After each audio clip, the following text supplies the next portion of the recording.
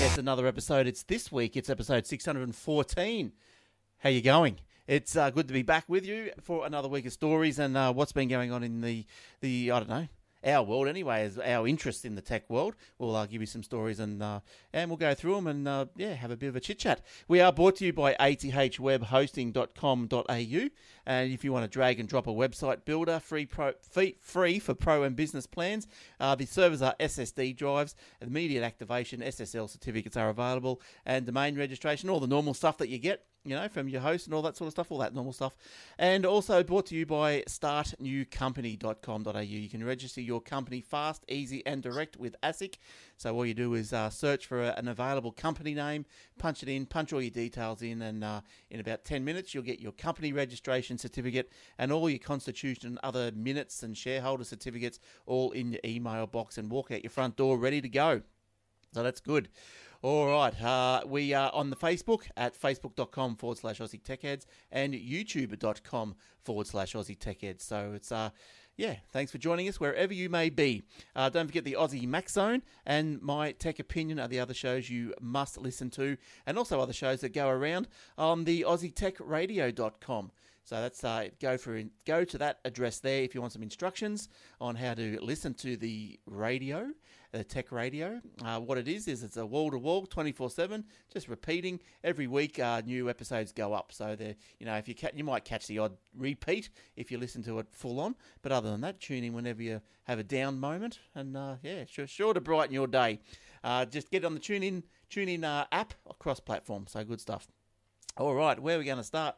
Let's start by saying hello to the co-host tonight. Only one this week, and it's Joe. Hey, Joe. Hey, uh, how you going, Glenn? Not bad. How's your week been? Uh, not too bad. Not too bad at all. Oh, that's good. What you anything anything exciting? Any uh, uh, events? Uh, no events happening this week, but I got my phone finally. What's oh, what sort of phone? Oh, your little Xiaomi? No, I didn't end up getting the Xiaomi. I ended up getting the Cubot Power. Oh, well, how's that go? All right. That is pretty good. I'm liking it. It's got uh, six gigs of RAM, um, octa-core processor, um, 4,000 uh, milliamp batteries. So right. I'm, I'm, liking it. It's good. One thing I don't like about it though, it's running Android 8.1, and um, I'm not used to seeing Android 8.1 because I in my other phone I had Android 6, and and it's the the raw Android, no other add-ons or anything like that. Right. And, and it's to me, it looks like bits and pieces are missing. It's either that or I can't find them. Like, for example, I can't find the, you know, when you pull down the menu, there's yeah. no sound or audio settings. Oh, yes. The menu to get it. Well, I've got the same one. I think I'm on the Android 8.1. But yeah, to get the audio, yeah, it is a bit of a fumble. I've got to, you just push one of the audio buttons, the ring volume comes up, there's an arrow, and then you pull it down. It is a bit of a fumble. But uh, I don't know. What do you do? That's okay, it. so it's not just me; it's everybody. Then it's got the same problem. Sounds like it. me and you, we'll go for everybody. That's hundred percent just here. So, uh, yep, that's it. But that's the only way I can I can work it out as well. Um, but anyway, you can put a probably put one of those. What do they call it? Those overlay things on them. I don't know. You download them. Um, you, I made mine look like an apple once. Uh, um, oh, yeah, the launcher. yeah, launcher. launcher. That's the one. That's the word I'm looking for. Yeah, launcher. You probably yeah. Do something like that. Get it a bit easier, but I don't know. Yeah, so it goes all right for you. Yes, I'm quite happy. The battery life is very good. It says it's um it goes for two days, and it does go for two days. Right. I mean, I'm not I'm not I'm not a heavy user by any means. You know, I don't sit there and watch movies and play games all day. Yeah. But for the things that I do do, um, and as you check your Facebook and your Instagram and your, and your emails and whatever else you do, um, I stream Aussie Tech Head podcasts, etc., etc. Um, it does it very well and without a problem. Oh, nice. And uh, what what brand was it again? It's called Cubot. You'll find that in the show notes that I've right at the very bottom. There's a link if you want to put that up for the listeners. All right, hang on. I'll find the the link. Cubot sounds like an arcade game. Here we go. The Cubot Power. Mm, copy that and put that over here like this. It's all nice and entertaining, isn't it? Yeah, and, and the good thing about this phone, I mean, it's only two hundred and seventy nine dollars or nearly two hundred and eighty dollars. I mean, you get a lot of phone for that price. Mm. Yeah, that's yeah, that's not bad. So two hundred eighty bucks. Looks all Yeah, right. 100 128 gigabytes of uh, storage on it as well. Yeah, right. Yeah, that's pretty good. 8.1, 6 gig plus 128 gig. Yeah, right. A Samsung 20 meg lens. Yeah, that looks all right, Joe. Well, you'd have to give it, let us know how it goes after a little while. And it doesn't have the notch in it either. Oh no, not it's just got a. It's just uh. Well, It's just flat across the top, yeah, right. like a, like a phone should be. Yeah. oh, it's got a car coming out of it. That's all right. Do you get the Yeah. car with it? Yeah, good. All right, good stuff. Um, yeah. So, what, what did you have a story about that, or we, or that was it? Um, I, don't, I don't actually have a story about it. I just wanted to tell the listeners that you know you don't have to spend a thousand dollars to get a great phone. I mean, Hmm. sure, this one is not top of the line material, but I, I've only had it for about a week, and it's very good so far. You know, I, I can't fault it. Apart from the fact that it takes a, a hard time to try and get the um, you know the menu up for the sound. Yes. And the other thing I noticed is is your um, is your Xiaomi you got issues with uh, the lock screen? Is it a bit difficult to run the lock screen on yours as well? so, like, what way? In what way is it difficult? Like, what do you mean? Well, grabbing notifications coming up on the lock screen. oh, yeah. It doesn't seem to work properly. And now I'm not sure whether it's the security they've built into the, the operating system or whether it's something around. It just doesn't seem to work properly. Yeah, I had to uh, get a, a launcher or some add-ons, and because that's what made it made me think. You know, I guess this is why at the end of the day, the phones might be say two hundred or whatever. What was mine about three hundred? But like you know, when you put it against an Apple, the Apple, yeah, you get it out of the box and it does just work pretty much. You know, it's got all the notifications bobbing up here and there, and they're all sliding down and whiz bang and volume controls where you want them and all this sort of stuff. But uh, and yeah, you just I just sit down and think, well, you know, it's like you get an empty phone and you've just got to download all the apps to make it how you want it, uh, if you know what I mean. But I thought, well, am I trying to make it like how my Apple was? But um, yeah, but yeah, I know what you mean. It's Yeah, I mean, you know, it, it, you shouldn't have to go. I mean, being Android 8.1 Oreo, you shouldn't have to go down download a, a notifications app, for example. I Yeah. mean, it should be built in. Well, that's yeah, that's right. That's what I was finding, and and even So- down to the you can get the little, uh, you know, on the iPhones or whatever. You get the, if you got five messages, uh, you get a little number five on the message icon, you know, and it'll tell you how many messages you've got or emails or whatever. Well, I missed those, so I downloaded an app for those. And I just thought, well, that should be right. Uh, and I wanted the SMS to reoccur the beep because sometimes you wouldn't hear the first one, and I wasn't hearing my messages. So I had to download an app to make it beep every minute for ten minutes until oh, unless I answered it. So um, yeah, there's a couple of things like that. But yeah, you get used to it, I, I suppose, Joe. Yeah, look, the, I, I- just was so excited that I was getting Oreo, Android 8.1, thinking, wow, I've got the latest operating system. It's going to have all the latest features. So look, I've got to tell you, I was a little bit disappointed because my old phone running Android 6 um, came pretty much standard out of the box. Sure, I ran my own launcher on it to give it a bit more personalized touch. Uh, but I don't seem to have this Android 8.1 giving me what I thought I was going to get. Well, maybe what was your last phone? What model number was it? Well, what, what It was an old LG G3, Mm. um, but it was running Android 6, and I had, um, but even the stock, um, the, I, I guess LG may have put their own launcher and everything on it. I think that's the secret. That's the secret with those brands is that the Samsung and everything, everything comes sort of with the with the brand name. But another thing that is uh, that I was uh, looking at was you know how with the Apple you get the headphones that you can turn the volume up and down and and all that sort of stuff, pause and whatever, with the little switch on the side of the headphones. I've got some here. Yeah. Um, yeah. I, I, can you do that on the Android? Yeah, definitely. Because I, I can plug these into the Android phone and it will only pause and unpause. It won't do volume up and down. And I thought, Oh, okay. Yeah. I, I guess I guess it depends how the plugs in, um, set up. I mean, the, the headphone socket's got to have that feature built into it. well, I guess so. Yes, that's right. How And, it's got the it's got the three rings in in the in the socket, so Mm. therefore you have got the left, right, and and, The and the control of something. Yeah, well, that's right. And I just thought, well, okay, well, fair enough. I'll get. Can you get some headphones from Android compatible headphones that do the same? But uh, I don't know. Can't find. maybe maybe Bluetooth head, um, headphones would Yeah. be fine. Yeah, well, that's probably the way you got to go, isn't it? Bluetooth or some sort of wireless jobbies. But anyway, Well, yeah, The other thing I liked about this phone is it has got a headphone jack as well. So there you go. Yeah, well, that's good. That's good. Uh, but talking about while we're on the mobile phones, you got you do have a story about mobile phones. Um, do you want to go on with that? Uh, mobile phones, yes. Now, apparently, mobile phones are going to be banned in New South Wales primary schools as of next year. Um, the primary schools will enforce a mobile phone ban from next year um, to reduce bullying and online bullying and uh, unnecessary distractions in the classroom. Hmm. Well, I think that's fair enough, isn't it? I thought when I, yeah, you disagree? No, no, I, I sort of like the idea of that. I mean, people are going to school these days and they've got their phones with them, and you know, they sort of sneak, you know, messages under the table and they get distracted and so forth. Yeah. Um, Well, when I first heard this story, yeah, I'll just squeeze that in like that.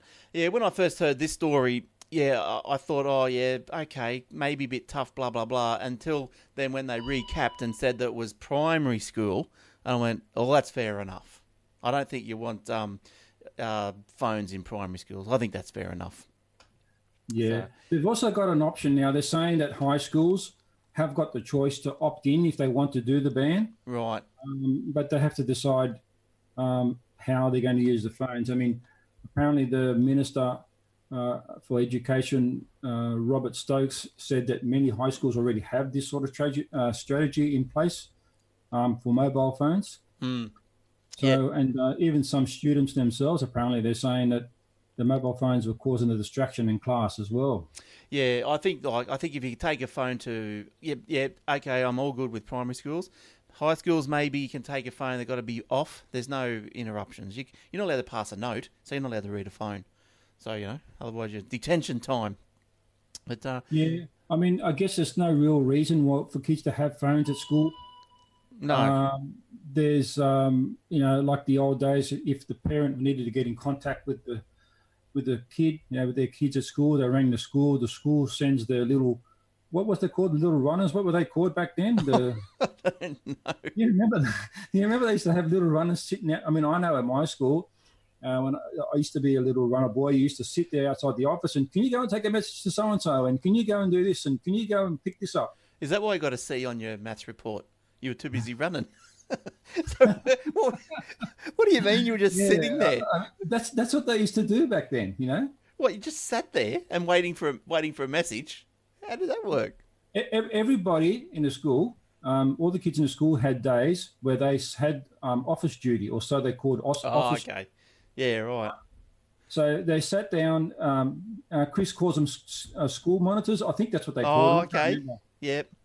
And and they was they were sitting outside the office.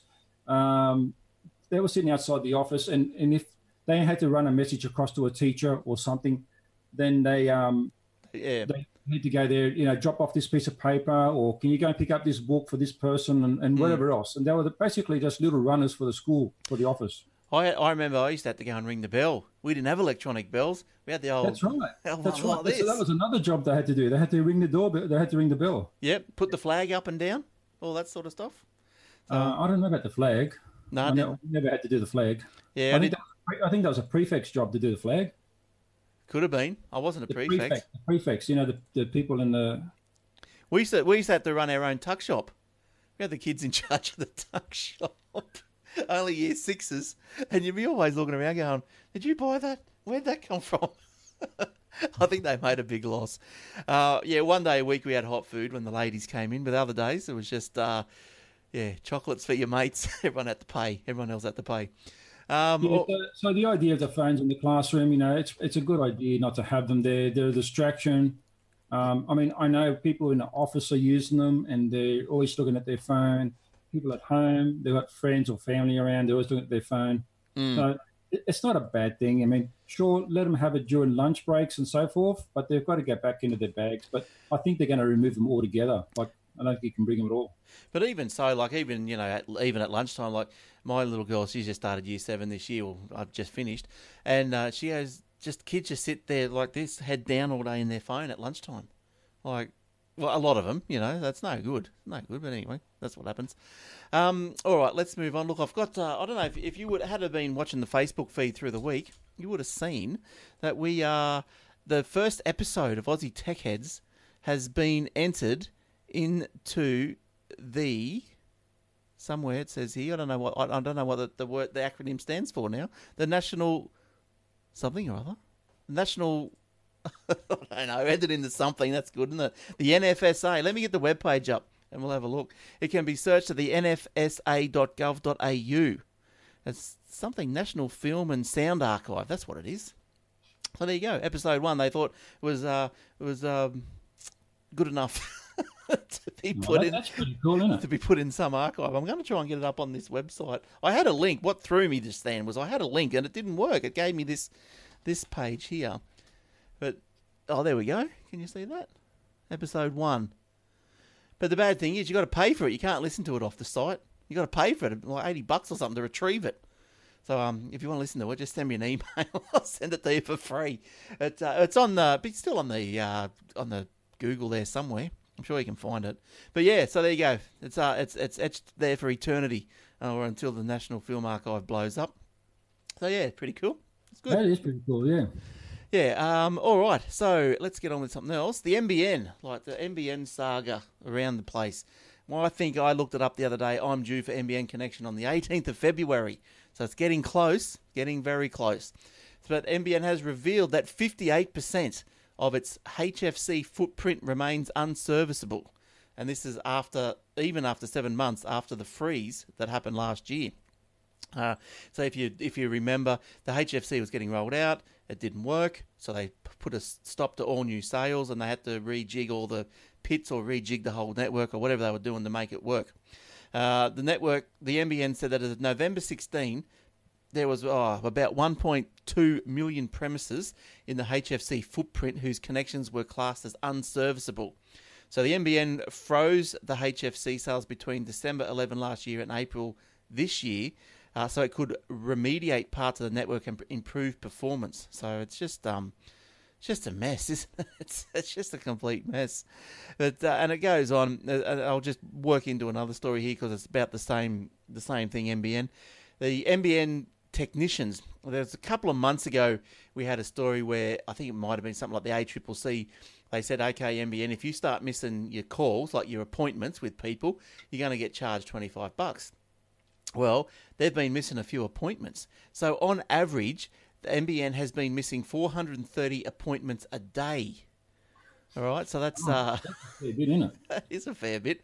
The company revealed that while 91% of the appointments during the last financial year were not missed, the total number of missed technician appointments for the period of 1st of July 17 to 30th of June 18 missed the number was 157,268. So yeah, it's a lot. Even though it's, it's you know it's only say nine percent, it's still that's a lot of people, especially if you're one of them. Uh, so the NBN class a missed appointment as where a technician has failed to attend the premises within the agreed appointment window. And so that so that sort of makes it even sound worse because you know how the, the appointment window was either nine to twelve or twelve to four. You know, so they can't get there in that in the four hours. I think they, yeah, I don't know. I've got issues with them anyway. The number, What about, what about all the people that stay home from work to do, you know, like wait for these guys? I mean, they don't get any compensation. What's happening about, that? yeah, well, that's what happens. That's the problem. You sit at home all day waiting for these people, and nothing turns up. Then you got then you wasted that day. You've lost productivity. You got to go and then do this another day and hope they turn up. But the number of missed appointments provides some idea. Uh, yeah, so they're paying twenty five bucks for every one of their no shows or connection or their their, their no shows or fault.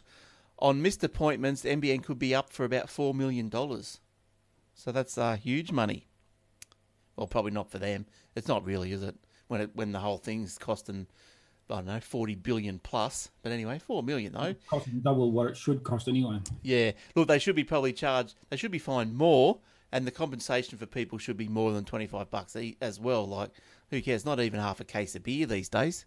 So you know, probably if I had twenty five bucks, I'd go and buy a case of beer and just drink it in front of him when he did turn up. But yeah, so NBN is no good, no good. So, but I can't wait till we get it. So, uh, but look, things on the Facebook Live, as you know, we do stream out to Facebook Live most weeks, and this week when Jordan's not here, he normally does the stream, but it seems to be going okay. My little five meg up seems to be handling it all right so far. There hasn't been any complaints on the on the feed. I'm just quickly trying to go through them. And, yeah, no, it seems, seems to be working okay. I just think the switching because we've got the, switching with Zoom that's not working so good. But apart from that, it seems to be working fine. Mm, yeah, so yeah, it's good. Uh, what else, Joe? What else have you been uh, rummaging around in? Well, I've got this this thing on uh, Google Plus will be shutting down four months earlier than what it should be because it's um Google's discovered a second bug in their systems. So apparently on Monday, uh, Google announced that it would be shutting down Google Plus four months earlier after a bug was discovered in their systems. The company said 52.5 million users were affected by an issue which exposed information including names, email addresses, occupations, and ages. Uh, Google Plus was set to be shut down in April 2019. The company was originally, sorry, the Google Plus is set to be shut down in April 2019, where the original planned date was to shut it down in August 2019. Yeah, look, I think I'd set up a Google Plus because that was the the in thing to do, wasn't it? To make sure your search engine optimization was up to up to scratch. But yeah, I don't know if any. It didn't take off. It was supposed to be a Facebook no, killer. It didn't take off, but it was popular for people who didn't like using Facebook, so they all went across to Google Plus.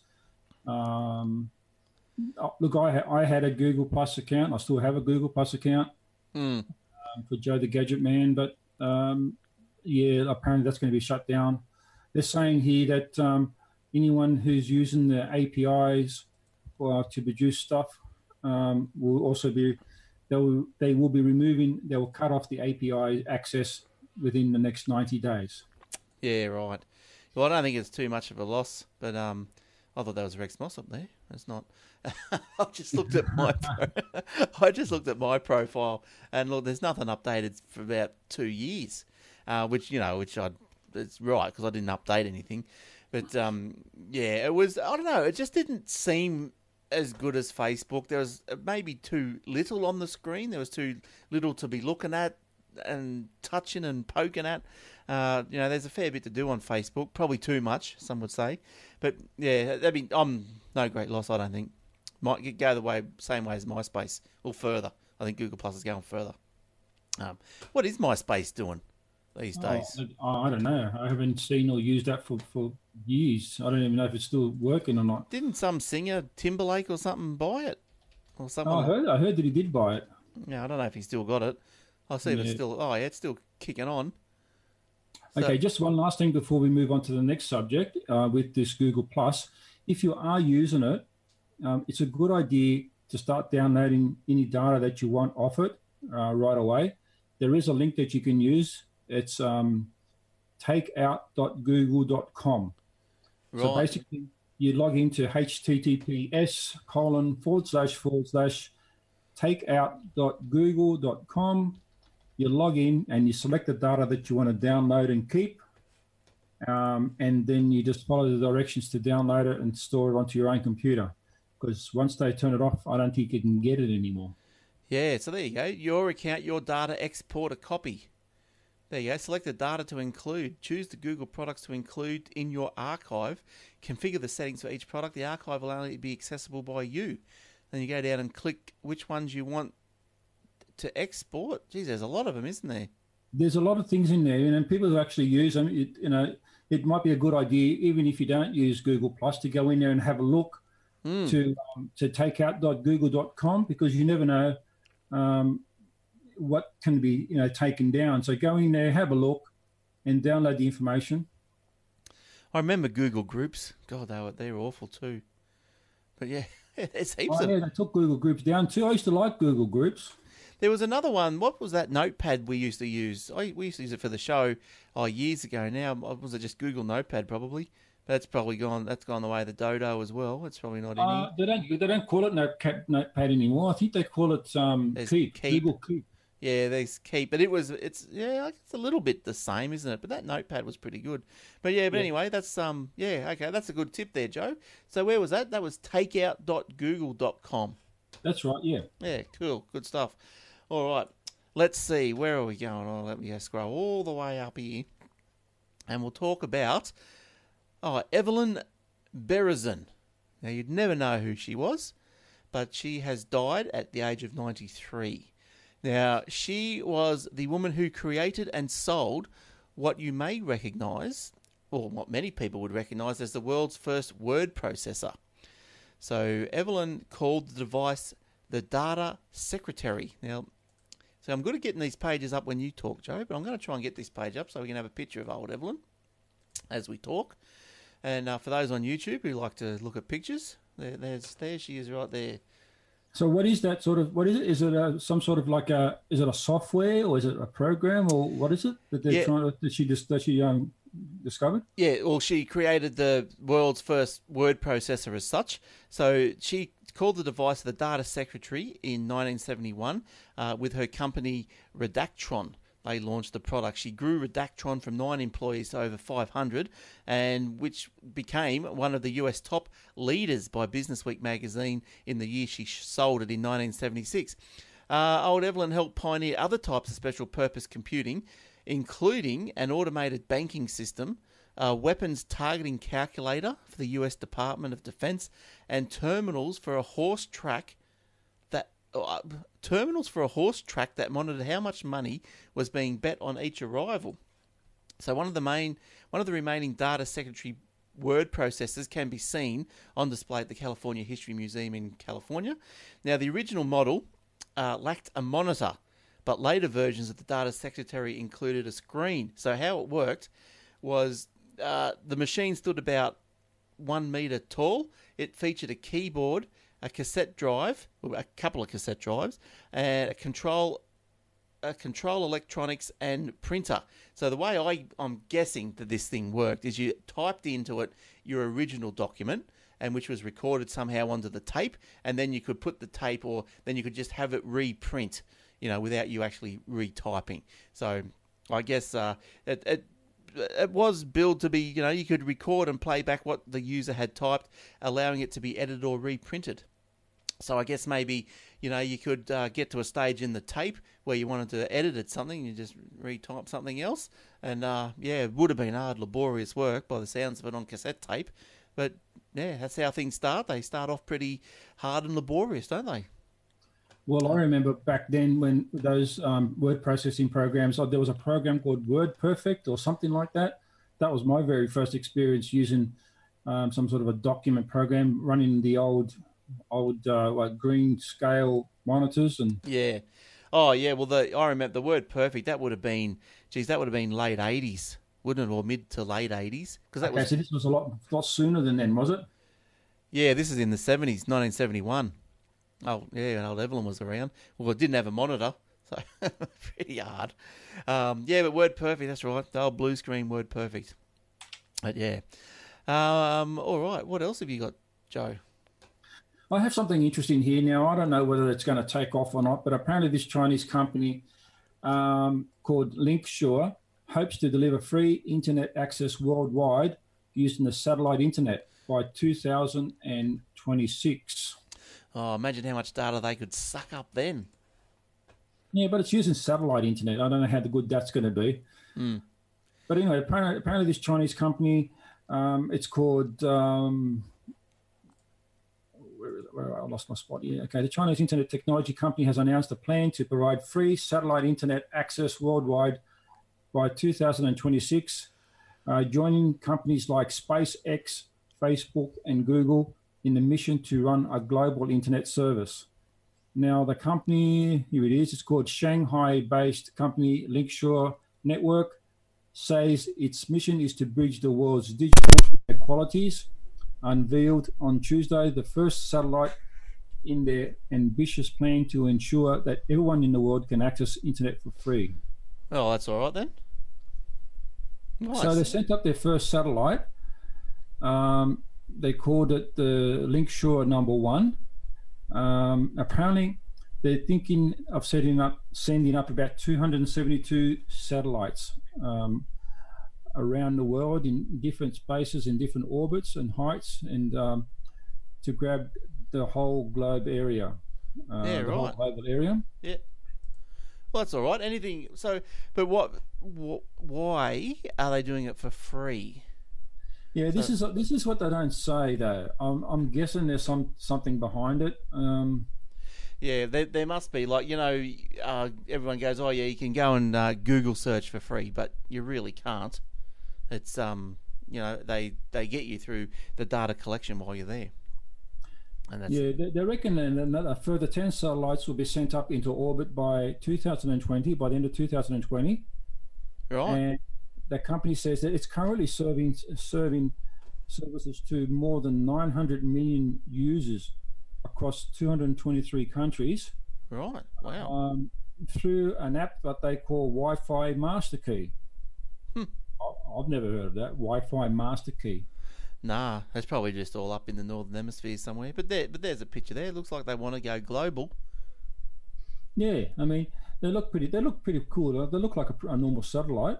Hmm. Um, the um, apparently that this new Wi-Fi master key allows users to connect to certain Wi-Fi hotspots without the use of an individual login. So, and the idea is that this will be able to walk into the streets, and you'll uh, once you've got access to it, you can actually log in all, all over the world, um, and it's meant to reach and at places where there's currently got no service. yeah. Okay. Well, that's all right. That's good. Uh, some Um, people in China are saying, um, once the news went viral, that um, does it mean that uh, social media sites like Weibo um, are going to be asking, um, uh, what's say? here? Oh, are they going to say? Uh, are they still going to be censored? Like the Oh, okay. They're going to be censored or not? They're asking whether they can use Twitter and and these sort of things. So it'll be interesting to see how how that pans out. I reckon. Yeah. Yeah. is it, it's going to be a separate internet access, separate company running it without any restrictions as as as we know them today for people who are who are using internet in China. I reckon they'll be res- they restricted in China, but everywhere else that they'll be unrestricted. They want to know what's going on in the world, so it'll be all unrestricted. You watch. But look further down to that story. I don't know if you did you keep reading on that story with the, the I did see I did see there the the story about the um the moon that they want to Yeah. uh, bring into space. But yeah, you go ahead. You tell them. Oh, I just I just saw it at the at the bottom there. I was just going to read it out. I, I it says uh, the LinkSure plan combines China's growing interest and expansion in satellite technology, including including the announcement last month of a plan to launch satellites to act as artificial moons that could uh, replace city streetlights by 2020. That- How cool is that? Eh? They throw up they throw up these things into the into the um into the space there, and um, it's going to light up the city Mm. At night time. Not really bright, but enough to to give you access to um to the to see what's happening in the street. Yeah, yeah. So that's um, oh, well, they're trying to they're creating islands and everything, aren't they? The Chinese, they're doing everything. Um, yeah, so it's just, yeah. Beijing is also made moves to increase global digital connectiv- connectivity, looking to create a digital Silk Road as part of its controversial One Belt One Road initiative. The Digital Silk Road plan is is designed to help Beijing export a digital economic infrastructure that will allow China's technological prowess to go global. Uh, China, their ambitions have raised concerns. Uh, earlier this year, Canberra opted to sign its own deal to provide undersea internet cable to the Solomon Islands, preventing Chinese mobile telecommunications Huawei. So it seems that, as we have mentioned before, it looks like the American and uh, Australian governments, at least, they're pretty uh, concerned about what the Chinese operated Huawei is up to. And um, yeah, they're not having a bar of it. All right. Uh, look, I've, uh, I've got a little story about uh, just sort of on the same sort of stuff about Google's and all this sort of thing. You would have heard we've spoke about this little site before, DuckDuckGo. Uh, you heard of that one, Joe? Oh yeah, I use it a few times. It doesn't give you as many results as Google, but at least it you know it, it supposedly remains anonymous. They don't call any particular data up. They don't save any data from your searches. Yeah, that's right. They don't create any user accounts or anything like that. So, uh, yeah, so uh, cementing its powerful no- monopoly on the duck-related online content, the privacy-focused search engine, which is the DuckDuckGo, is now the uh, the owner of Duck.com. Previously, Duck.com was owned by Google. So apparently, Google come across it after they after they bought another company uh, in 2009 called Purchased On2. So they, this company specialised in video bandwidth uh, reduction. On2 was previously known as the Duck Corporation and owned the Duck name.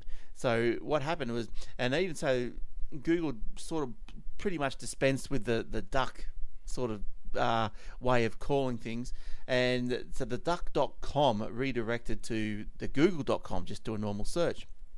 So the guys at DuckDuckGo they asked Google if they would if they wouldn't mind you know turning off the uh, the redirection you know because people were getting confused. And he said well while you're at it um, do you want to sell the duck.com uh, to us? And Google uh, actually sell might be the wrong word because it doesn't say how much if there was any money changed hands. But anyway the duck.com did change hands for whatever reason. And uh, and now the duckduckgo own that as well. So there you go. There's a little bring you up to date with some duck stories um, yeah, so duck. I'll show you Duck Duck Go if you want to have a look at Duck Duck Go. Yeah. Um, duck Duck Go. Well, we can do an we can do a uh, example. Let's try. Hang on, we'll get into it. Duck Duck Go. Let's let's search for something. Let's search for. Uh, let's search for Holden Monaro. Monaro, and see what comes up. Okay, so we get the cars guide, we get the Wikipedia entry. Okay, so yeah, that's a bit of a, a lot of results about what is the Hold Monaro. So let's go to google.com. Holden Monaro. Let's see how we go here. Oh yeah, Wikipedia, car sales. Sort of the same, not too bad. Car sales, car sales guide, motoring. Back to Duck Duck. Yeah, that's not too bad, I suppose. Yeah, but you're right. You can't beat Google for the, the for search results. Uh, now, arcade games. You, you're into arcade games, Joe. You be a you like all the old I, stuff. I'm into some of the older ones, but not so much of the new ones. Yeah. Yeah, well, the there's an arcade revival invades online space auction. Now, this auction, let me see if I can pull up the Oh, oh, sorry, I thought I had the link for that. But it's an online auction. It's a Lloyd's online auction, and it's uh, here on the Gold Coast at Carrara. So if you're a collector, investor, or gamer interested in uh, you know all these old games, there, there's over 50 pinball and arcade machines up for auction, and it's happening. Oh, it's already happened. Bad luck. I only saw this the other day. It was November 24th. Bad luck you've missed it. But anyway, I'm sure it was good. Uh, iconic games included the uh, Pinball, Space Invaders, Donkey Kong, Galaga, Pac Man, Scrambler, and many more. Are they sure that was then? Because that was only. I'm sure I got notified. I, I saw that in the in the newspaper just like three days ago. I'm gonna have a look here. That can't be right, can it? Can it, Joe? Is this right? Arcade. A friend of mine's got one of those arcade machines, and it's got like built-in six games. It's come like original like that, with a, a board that plays six games. It's got um, was it Galaga, um, Space Invaders. Uh, what's the other one? Um, oh, geez, I can't. Oh, there's heaps of them. Yeah, you can get them for like. Pac-Man. It's got Pac-Man, and it's got a variation of some others as well. Yeah. And um, we were there a few weeks ago, and he's turned this machine on, and all these kids come around the machine, and they're saying, "Oh, what's this? What's this?" Mm. And it's like, "Oh, it's, it's a game." And so we start playing it. Oh, we want to go. We want to go. They couldn't get anywhere near how good we were playing. Yeah. you know what I mean? Like, they had no idea. Yeah, and we were good. smashing them, you know, level after level after level. Mm. And uh, these kids, they could get nowhere near it. Yeah, right. Yeah. Um. What's what sort of games are you playing? Well, I like playing Gallagher, right? Oh, yeah. really with, with the double with the double shooter and all that. What's your high score? That's one of my favourites. Uh, look, at the, it was like twenty three thousand over over at that place a couple of weeks ago. But I haven't been paying for a long time. But the kids couldn't even get half that. Mm, yeah, yeah, that's a good game. Um, Galaga, Galaga, whatever you want to call it, Galaxian. Uh, what yeah, else is what, there? what, was what was the um, the other one? Asteroids was the other one I think you had there but the that was another good one. Yeah. Yeah, that was a good one. Asteroids. Oh, there's so many of the old ones. But anyway, because that leads me into another one, another story. Hopefully, this one's in. Hopefully, these people haven't closed shop by the time I read this one out. But the largest pinball parlor in Australia. How's this? And this is at Tweed Heads. It's all going on. I haven't been down there uh, yet. It only must have just opened. But let me let me let me give you a. Uh, oh, how can I link in there when the SSL takes up all the URL space? There we go. Let's have a look here. It's only a Facebook page for these guys, but it's the Benny's Pinball Bar.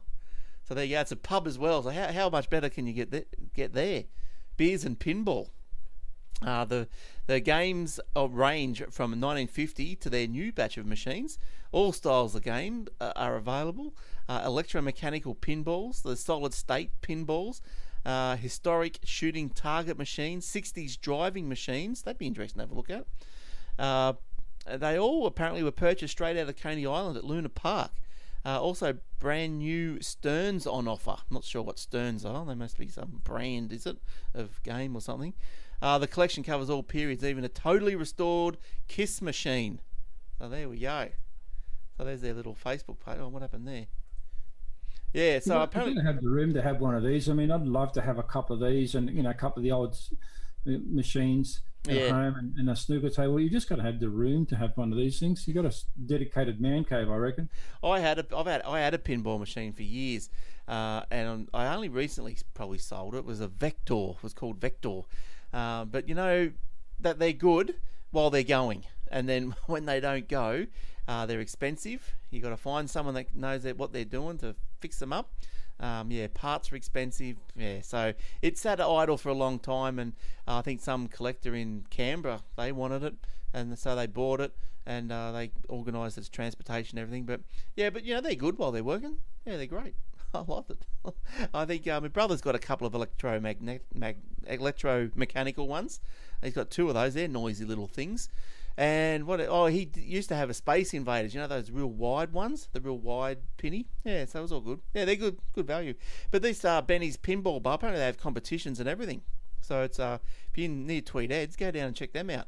Uh, what's their What's their Facebook? I'll tell you what their Facebook is if you're on the if you're interested. Uh, I haven't got enough space. Anyway, Google it because it's too much. It's numbers and letters. So Google it's it's uh, Benny's Pinball Bar. I'm sure you'll find it. All right, um, Joe, have you got any more?